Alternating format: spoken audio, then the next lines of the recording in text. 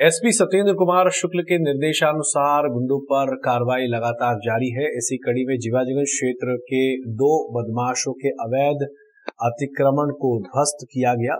अतिरिक्त पुलिस अधीक्षक शहर अमरेंद्र सिंह व नगर पुलिस अधीक्षक जीवाजीगंज ए आर नेगी के मार्गदर्शन में पुलिस बल, नगर निगम एवं राजस्व विभाग के साथ समन्वय स्थापित कर गुंडा अभियान के पालन में थाना जीवाजीगंज के दो बदमाश, जिसमें से पहला बदमाश जिसका अवैध निर्माण जूना सोमवार उज्जैन में है, उस पर गंभीर धाराओं में लगभग चौदह अपराध दर्ज है, तथा दूसरा बदमाश जिसका अवैध निर्माण उर्दूपुरा थाना क्षेत्र जिबाजीगंज में था, उस पर जुआ सट्टा सहित विभिन्न प्रकृति की धाराओं में लगभग पंद्रह अपराध पंजीबद्ध है।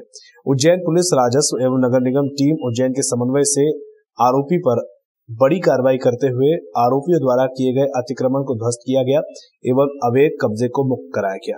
इस पूरी कार्रवाई के दौरान CSP Jiwajiganj A R Negi, थाना प्रभारी जिवाजीगंज मनीष मिश्र उप निरीक्षक प्रमोद भदौरिया, महिला उप निरीक्षक जादौन, आरक्षक जितेंद्र, आरक्षक रविराज, आरक्षक अजय रावत, आरक्षक राजवीर, आरक्षक ब्रजेश, महिला आरक्षक साधना, महिला आरक्षक संगीता, नगर निगम स्टाफ और राजस्व विभाग की अहम भूमिका रही।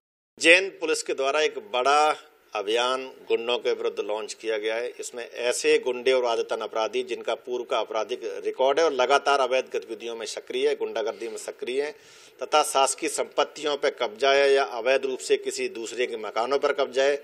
उनके विरुद्ध में जो प्रशासन और नगर निगम के साथ समन्वय स्थापित करके एक बड़ी कार्रवाई की जा रही है। इसके तहत अब तक कई ऐसे लोग, लोगों के अवैध अतिक्रमण को हटाया गया है। आज भी इसमें कार्रवाई की जा रही है। अभी ये कार्रवाई अभी और भी जारी रहेगी। सभी थानों से ऐसी जानकारी मंगाई गई है और ऐसे सक्रिय लोगों की सूची भी तैयार की गई है और उसके बाद में प्रशासन और नगर निगम के साथ समन्वय स्थापित करके ये कार्रवाई संयुक्त रूप से की जा रही है।